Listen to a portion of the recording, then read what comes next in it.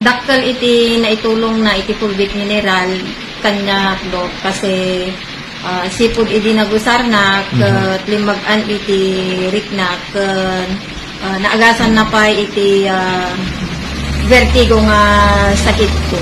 Ah, kadagiti kalugarak, uh, awawison kayo nga agusar iti dok alternatibo pulbit mineral kat matikas ka Ah, nyaman iti adda nga nasakit yu ket ah, maagasan numan pay haan nga DJ uh, alis tulaeng nga ah, maagasan kayo no diket di ah, ah, long processing iti panagagas iti dok alternatibong ah, napintas ta gaputa healthy body lat ta iti bagi. Siyak ni Tomasita Guillermo iti bago ang bulong.